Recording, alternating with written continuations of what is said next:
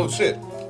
Hey guys, welcome back to another episode of Indie Choice Picks. Today we got another returning member of the Indie Choice community. We have Joseph King coming back with his Slaughter Squad adventure. If you don't know what Slaughter Squad is, just picture the food that you eat, chicken, cow, beef, pork, are all coming to kill you and liberate all other slaughterhouses. So pretty interesting concept. I like it. It's a lot of fun. He's back to try again on his campaign, so show him some love, ladies and gentlemen. Joseph King, the creative Slaughter Squad. Adios.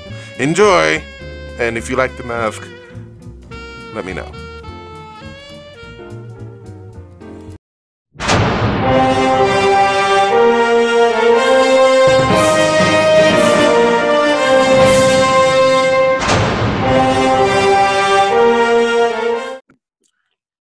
Joseph, man, it was uh, good getting you back on the show. I know last time we talked, you were working on your comic book Slaughter Squad, uh, Slaughter Squad, and uh, I saw the little animation you had, and it was pretty, pretty freaking epic. Um, so since then, you you scrubbed that crowdfunding, and now you're starting over, correct?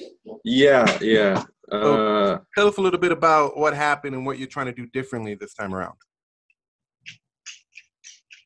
Sure. Um, yeah, last time uh, I was just trying to fund. It was like a. It's basically like a floppy, 24 pages. It was smaller uh, than most of the. Do a good job of getting the word out um, and promoting and stuff. Uh, so this time I'm gonna try and uh, you know promote the hell out of it. Um, it's going to be a bigger book. It's going to be two. It's like a double feature. So we got the first two parts put together. It's going to be 48 pages. It's going to be bigger. And um, hey, can you hear me? yeah, I got you. I'm I'm loud and clear. Did the stream freeze up? Can you hear me? Oh, cool. Oh, sorry. Yeah, the, the thumbnail froze. Um, yeah, and um, yeah, I've been like uh, chatting with a bunch of uh, indie comics people, Comicsgate people, uh, and uh, they've all been pretty receptive. And um, yeah, I've, I've been um, yeah, so I'm just trying to get out there more. And are you, um, are you planning on like maybe uh, doing a little bit more of the story, like um, going ahead and um, adding bit to the story. I know you said last time um, the book that you were working with only had 24 pages. Now you're working on trying to make it a bigger book. So are you adding more to the story per se?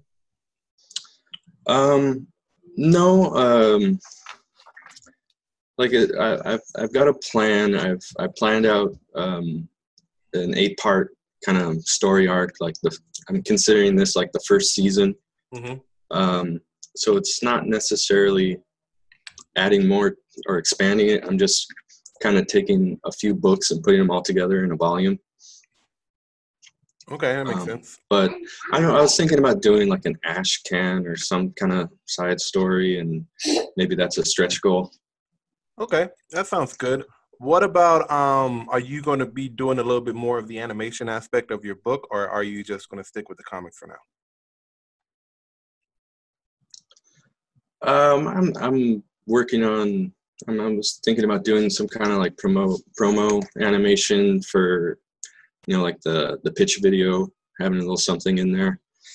But uh, yeah, animation is very uh, it's time consuming. takes takes a lot of work. So uh, like I don't I don't want to take too much time away from actually making the comic. Mm-hmm. But uh, I'll probably do a little something. Yeah. I know animation takes a long time. I think the last time we talked, we kind of exchanged. Well, you kind of gave me a few pointers on how I could better animate, and I kind of did um, a few little demos of like the bouncing ball. Yeah. Um, that was actually really fun to do. I had a lot of fun doing that. It was just for that, what three seconds, three to five seconds of animation. It mm-hmm. took literally like four or five hours to do. So it took it took a minute to really try and understand how oh, yeah. it. But it's so rewarding when you actually get to that point where it's done and you're watching it. You're like, wow, this is great. So I've been, I really want to mm. animate. I really want to. Yeah, that's the best that. part when you see it done. Yeah, exactly. I love it. I love watching it. And, mm. I, and I think I sat there and watched the ball bounce and roll for like I don't know, all day, showing people like, look, look, I did this, I did this, and it's just a bouncing ball, and they're like, oh, cool, a bouncing ball. And I'm like, you don't understand. This took five hours to do. this makes it. This you look yeah, at this like ball. a good animation loop. You can just watch it all day. Exactly. It was from a bouncing ball to a guy running. So now I'm, I'm I want to focus more on anatomy and, and body movement and stuff Mm. like that. And that's a little bit more challenging than just going. I'm sorry, kind of breaking up a little bit. Can you hear me now? Yeah, yeah, I got you. Okay. So I want to I want to go a little bit more into anatomy stuff because that's a little bit more challenging. But finding tutorials on YouTube, I've tried Skillshare and all these other outlets on trying to get that motion down.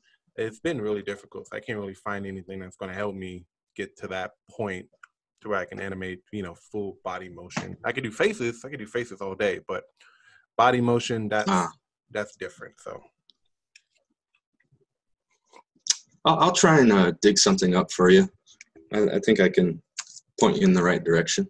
That would be great, man. I would really want to get into that. So, well, going back to your book, um, we had the animation. I love that. That was great. And then we had the book, and I thought it was a pretty, pretty good idea.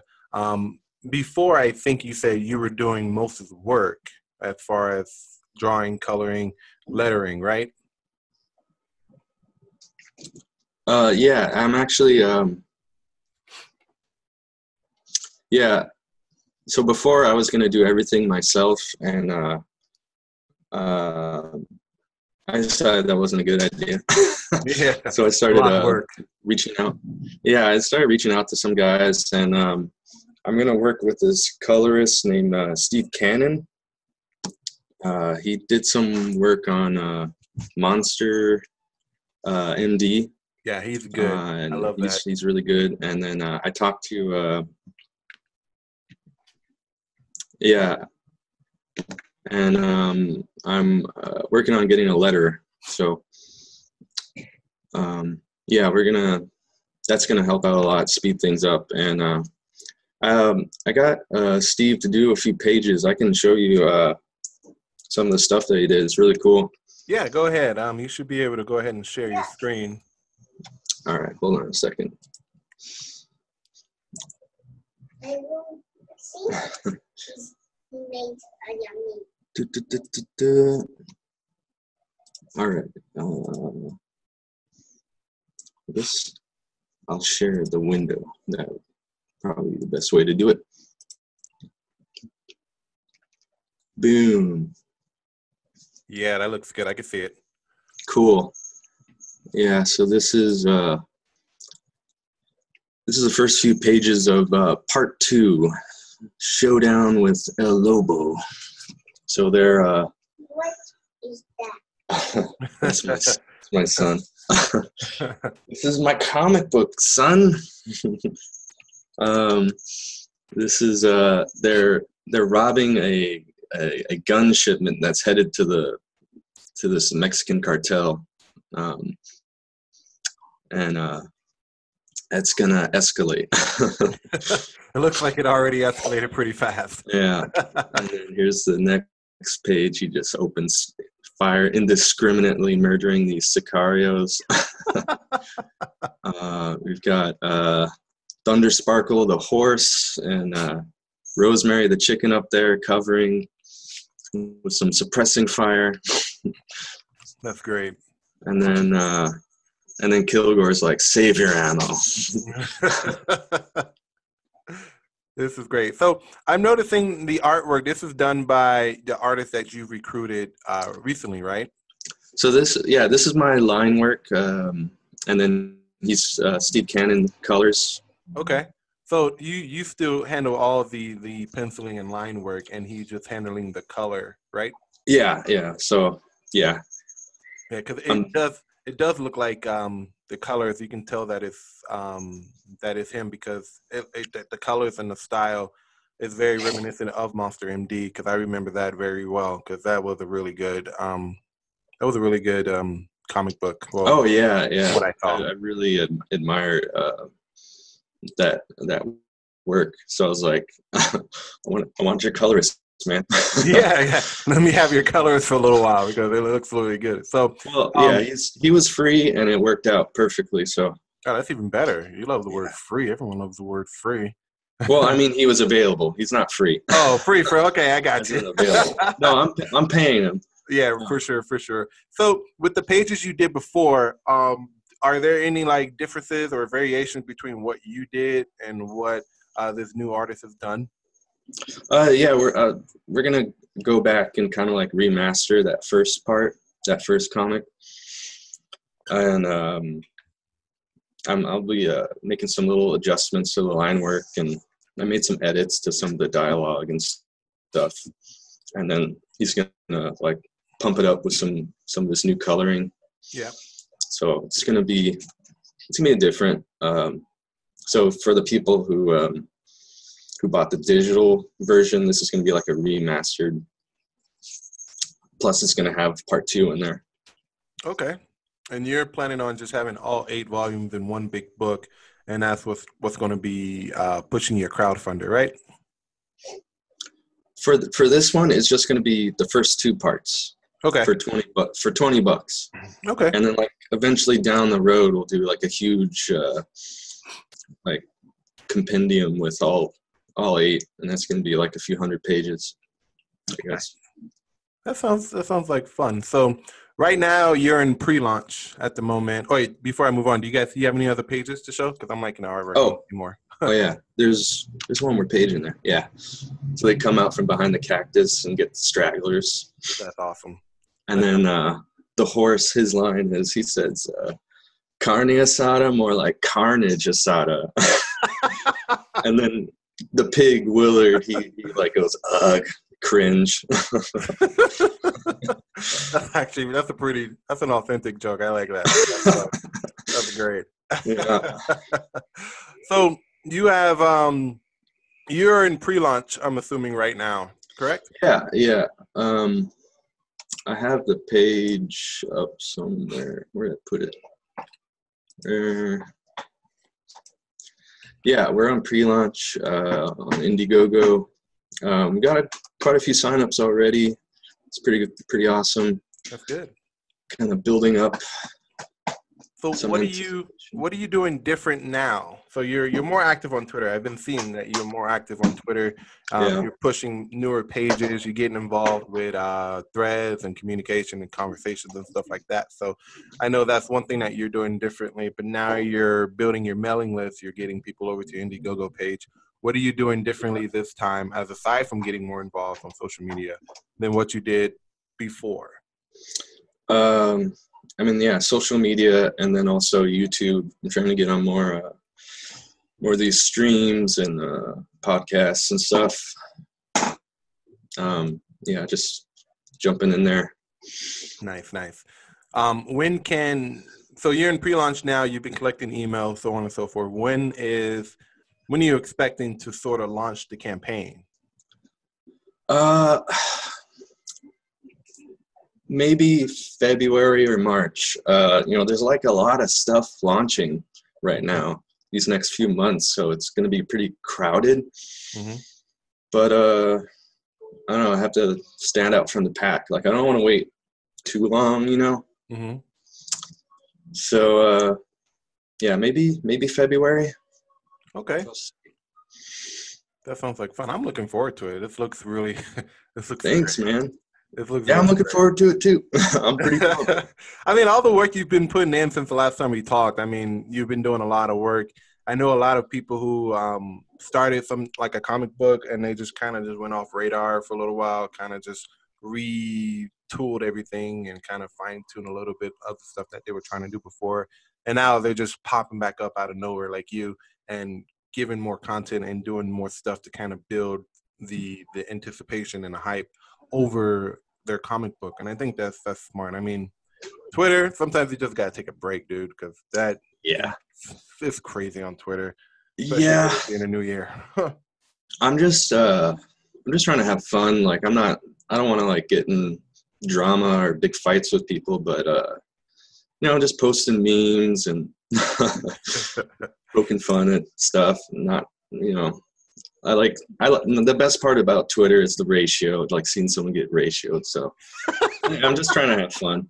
That is funny. Like a lot of people have been saying some of the most dumbest stuff on Twitter, and I'm like, dude, did you like like like not think this through? Because this ratio is it's pretty bad. Yeah, yeah. So that's it's fun to point and laugh. Yeah, it is. It's very uh, fun. the trick is to just not take it too seriously, I guess. Well, that's Twitter because a lot of people on Twitter are always taking something a little bit too seriously.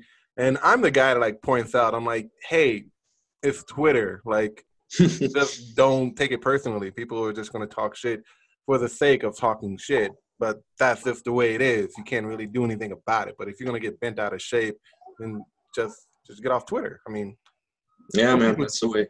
Some people just say shit to see how people are going to react, and they laugh at those reactions. Oh yeah. I think that's the best part with Twitter is that right there. yeah, trolling. It's just that's the internet. You're gonna get trolled. Yeah. And the first rule of trolls is don't feed the trolls. Yeah, don't read the troll. Just ignore it. No matter how much you want to go ahead and reply, just let it go, dude. Because it's, it's going to take up your entire day, and before you know it, you would have wasted a day on Twitter trying to figure out what to do or what have I been doing this whole time. So that's don't let it get to you. Reddit, Reddit Oh, the yeah. same way too. Don't don't don't get on Reddit. Reddit, Mm. Reddit's the worst. Yeah, I don't. I don't really get Reddit. I, I never really use it too much. Like I, I post a couple times over the years, but yeah, Reddit I never really got into. Yeah, for Oh, sure. all right, hold on, son. All right, well, we're kind of coming down to the end of our time together. So, just like last time, uh, I ask all of my people who come on the show if there's one piece of advice that they can give someone to run a successful campaign. What would be the advice that you would give uh, some Hmm. aspiring comic creators? well, um, I mean, I haven't been successful yet, so I I, I don't really have a whole lot. But I'll just say, look at the people who are more successful and just try and figure out how they did it. And luckily, there are a lot of uh, successful guys who are dropping little pearls of wisdom and giving out advice. So just keep your ears open and uh, you know be be willing to uh, make adjustments retool. And uh, if you don't at first you don't succeed, try again. There you go. It's not a it's not a sprint. It's a marathon, folks. You're gonna have to keep on going forward and doing the best you can, and just be learning. So, um, I know one of those people who completely crushed their campaign was uh, the guy uh, who did Monster MD, Von Klaus. So you Yeah. follow him on Twitter at I think it's Monster MD. I think that's his Twitter handle. Um, Von Klaus is a really great. Yeah, I've been uh, looking at Von Klaus and also um, uh, Malin. You know, he did uh, um, Graveyard Shift, right? That was pretty big. Yeah. He just put out that variant that's been doing well. Yep, I saw that. So yeah, a lot of these people they know exactly what they're doing, but at one point they didn't have a clue. So I mean, Yeah. I'm sure Von Klaus has been one of those people who just like tried it, failed, did it again, failed, and then did it again and got it right. Um, same with another person who did Caius. I can't recall his name. Oh, yeah. He he that dude had about 300 followers on Twitter, but I think crushed about twenty to thirty thousand dollars in his crowdfunding campaign. So he did a lot. Yeah, he did well. he did uh, very well. So And yeah, I was looking at how he was handling his campaign too. He was uh, very active. hmm and it's really good to. I mean, like I said, with social media, that's the best way to sort of kind of get um, word of mouth around about what you're doing. And like you said, uh, joining uh, podcasts like this or like YouTube shows like this, and just trying to get your name out with people who wouldn't otherwise know who you are. Um, my advice to that is sort of limit your time on Twitter because it you just go down a rabbit hole and then you just completely Yeah. start to get lost on what it is you're trying to do. At first, it's about the comic, it's about the work, it's about building a following, and the next thing you know, you're trying to argue with someone with how well a president Donald Trump is, and it's like this is not why I'm here, but you know, you just Yeah. have to sort of like let that go for a little while. But that's the world we live in. yeah, there's a really good quote. They say, uh, you know, you can't really, you can't really change people's minds with words. It's it's mainly action. So just just do do do your thing, and you don't really have to argue too much. You know, it's just the the results speak for themselves, right? Exactly. There you go. So, Well, Joseph, man, it was good having you on the show, man. I will loving. I'm loving to see what you're gonna do next with uh, Slaughter Squad. I love, I love that joke that that the horse said. I can't, I can't right now. I'm that kind of guy that'll just kind of like chuckle at a like a joke that is funny, but you know, it's like ah, that's kind of cringy, but it's it's funny, you know. So, That's my favorite kind of humor. yeah, dude, it's my favorite kind of humor too. Like if you can make more jokes like that in your comic book, dude, I I would love that. So uh, this is great. Feel So, that. for sure, man. Well, I think I've already signed up for your pre-launch, right?